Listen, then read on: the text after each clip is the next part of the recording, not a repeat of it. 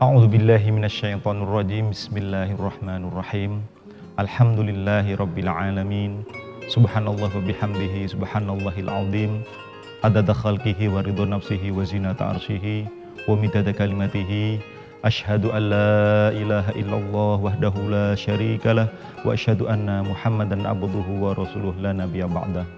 اللهم صل وسلم على سيدنا محمد وعلى آل سيدنا محمد أما بعد. Rabbil alamin. Puji syukur kita panjatkan kepada Allah Subhanahu wa taala.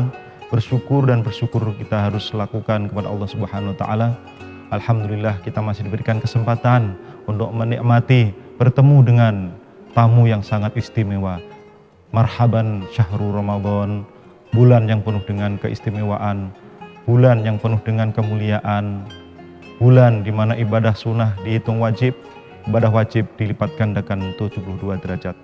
Ikhwatal iman, pemirsa yang dimuliakan Allah Subhanahu wa taala, kita sebagai manusia diciptakan Allah dibebankan dengan berbagai macam kewajiban. Kewajiban yang paling utama adalah mendirikan sholat, melaksanakan sholat. Sebagaimana firman Allah dalam surat An-Nisa. A'udhu billahi minasyaitonir rajim. Bismillahirrahmanirrahim. Inna sholata kanat alal mu'minina kitaban mawquta. Sungguh, sholat adalah kewajiban yang telah ditentukan waktunya atas orang-orang yang beriman.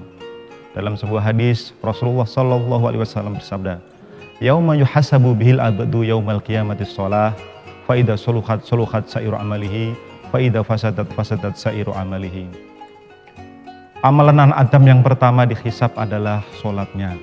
Apabila sholatnya bagus, insya Allah bagus semua amalannya. Apabila sholatnya tidak bagus, maka tidak bagus semua amalannya. Kita sebagai manusia, karena pentingnya sholat, oleh Allah kita diperintahkan untuk mendirikan sholat lima waktu. Allah memerintahkan puasa melalui malaikat Jibril. Allah memerintahkan baca Quran melalui malaikat Jibril. Tetapi kalau Allah memerintahkan sholat, Allah langsung memanggil Nabi Muhammad yaitu dengan Isra dan Mi'raj. Alhamdulillahirabbil alamin. Para jamaah ikhwatal iman yang dimuliakan Allah Subhanahu wa taala. Apabila kita melaksanakan sholat harus bertahap. Kuatkan iman Islam kita. Iman Islam harus kuat. Bunayal Islamu al khamsin. Islam terdiri dari lima rukun, lima, lima rukun Islam, yaitu syahadatan la ilaha illallah Muhammad Rasulullah wa aqimus sholah wa itu zakah wal hajj wa soma Ramadan. Apabila Islam kita pegang, maka kuatlah Islam kita, iman kita. Sholat wajib kita laksanakan.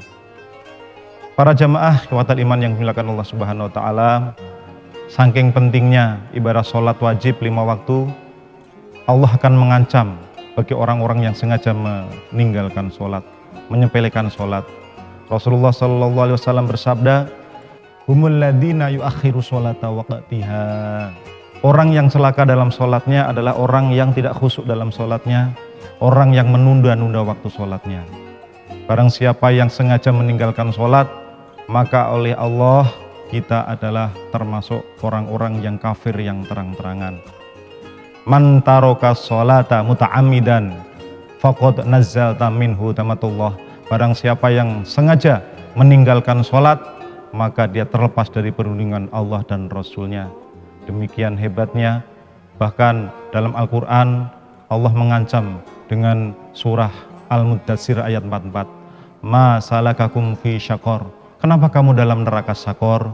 Mereka menjawab, dulu ketika aku di dunia tidak termasuk orang-orang yang mendirikan sholat.